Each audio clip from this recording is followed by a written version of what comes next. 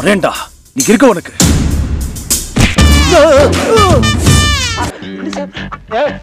Order எல்லாம் பிடிக்காதப்பா.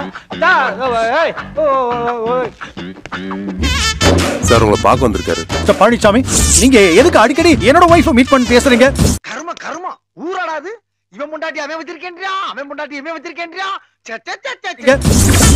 உங்க ஒய்ஃபுங்களா நான் உங்க ஒய்ஃபை பார்த்ததே இல்லைங்களே. ஒரு ஜென்டில்மேனை பார்த்து கேட்கிற கேள்வியா இது?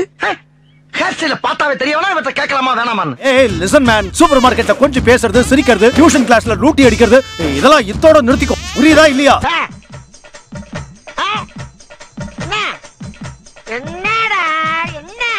அது எங்களுக்குள்ள இருக்கிற பர்சனலுங்க அதனாலங்க யூ மைண்ட் யுவர் ஓன் பிசினஸ்ங்க இல்லையா? இதுக்கு ஒரு நாலு பேர்த்த மூத்திரத்தை வாங்கி மடக்கு மடக்கு குடிக்க வேண்டியதானே? வேணாடா வேணாடா டேய் வேணாப்பா சொன்னா கேளுங்கய்யா. லைக் பண்ணணும். இந்த வீடியோவை கமெண்ட் பண்ணணும். உங்களுடைய நண்பர்களுக்கு சிநேகிதர்களுக்கு